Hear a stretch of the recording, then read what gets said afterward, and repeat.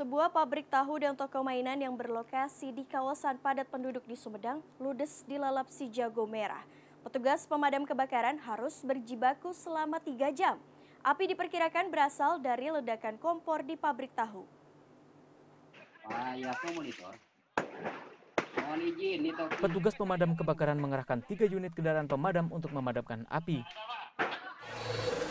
Kebakaran ini menghanguskan sebuah pabrik tahu dan toko mainan di Desa Citali, Kecamatan Pamulihan, Kabupaten Sumedang.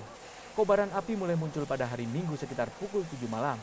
Diduga sumber api berasal dari penggorengan pabrik tahu yang tengah memproduksi.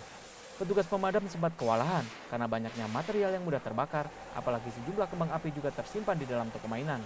Itu posisinya sedang apa Pak? Di dalam itu produksi atau gimana? Iya lagi produksi.